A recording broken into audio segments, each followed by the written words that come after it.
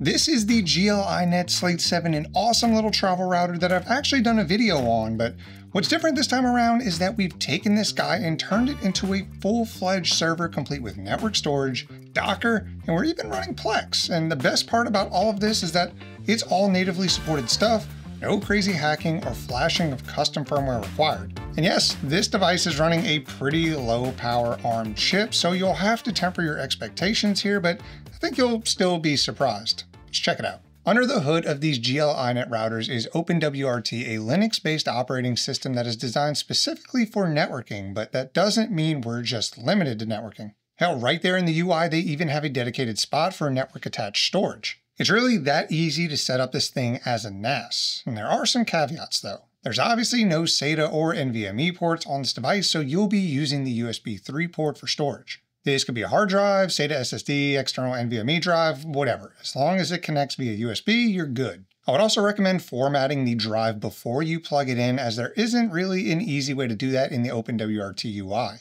Also, if you plan to use this storage with Docker later on, you'll definitely want to format it using ext4 as I ran into issues when trying to use NTFS or exFAT. If you just want the network storage feature, then this really doesn't matter. I used this little 128 gigabyte external SSD for this, and for some reason in the UI, it thought it was a one terabyte drive or something, I don't know, probably a bug. But your first instinct when you want to get this working as a NAS is to turn on Samba and then set up your shared folder.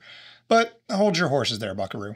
We're actually going to SSH into the device first and set up a dedicated folder that we'll be using for the network share. Once you're in, you should be able to see your drive mounted to the location TMP Mount D, and why GL.iNet chose this location, I don't know, but that's where your drive will be. You can see my disk 1 part 1 partition here, so when we go in there, we are going to make a new folder called share. Now when we go back into the web UI and create our shared folder, we specifically select that folder we just created. But why did we do this? Well, if we plan on using this drive for other things like Docker, then we want that to have its own folder too. And by default, when we create a share in the UI, it'll create it at the root directory, which when paired with Samba can cause some funky permissions issues, so I just recommend doing it this way. Now the shared setup isn't anything fancy. We just give it a name and assign either read or read write permissions to a user, which you'll want to create if you haven't done that already. And honestly, that's it. We can now connect to our network share from any device on the network, effectively turning our GL.iNet router into a NAS. And this one has a 2.5 gig port, so theoretically you could get some pretty decent speeds over a wired connection. Now let's move on to something a bit more nerdy.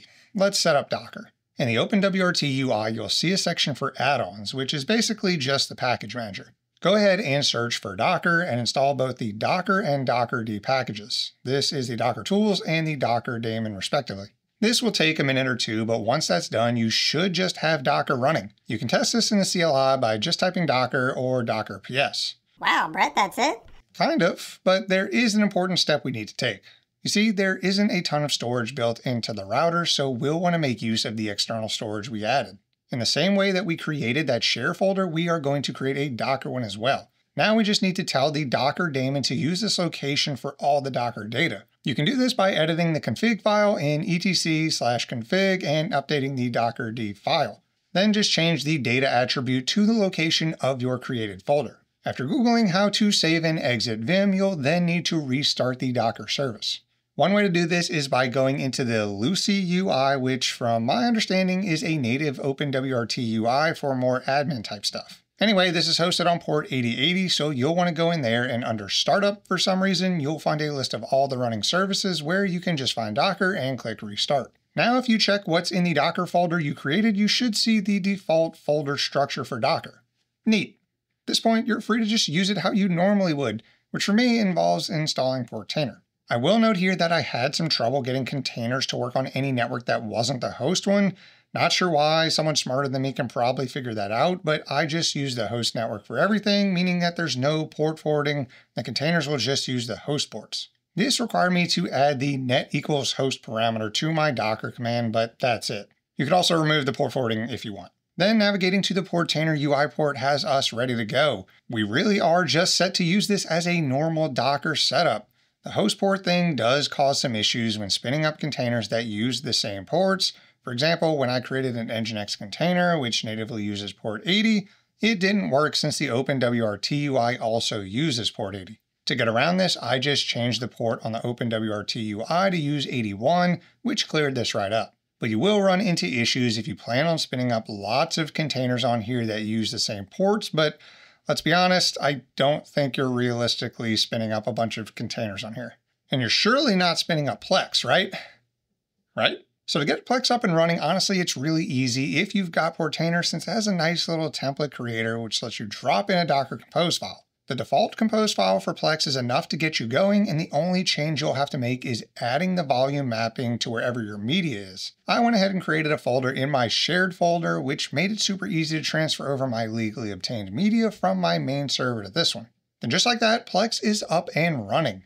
Navigating to the UI on port 32400 will begin the setup process. I did notice that this could take a few minutes even after the container is running, but just give it a refresh or two and you'll be in.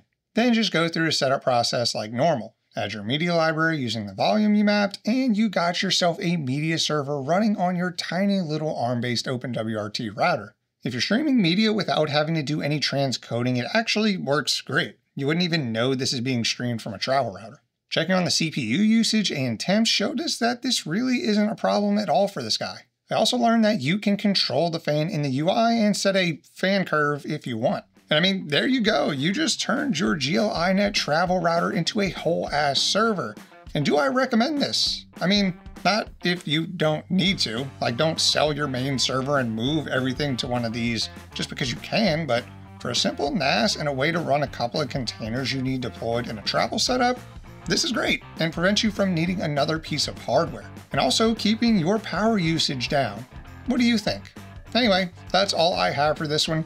If you liked it, then drop a like and subscribe if you want to see more moderately useful home lab content. I want to give a huge shout out to my YouTube members and my Patreons. You guys are my travel plex docker NAS with all the bells and whistles. Y'all are great. And if you're still watching, you're Podman. Thank you so much, and I'll see you in the next one.